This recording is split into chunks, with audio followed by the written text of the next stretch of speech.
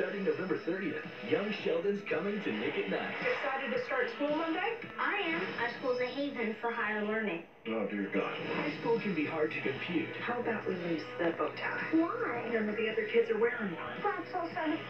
Please trust mommy. But this kid genius is ready to solve the equation. You think people are gonna come here to hang out with you? Yes.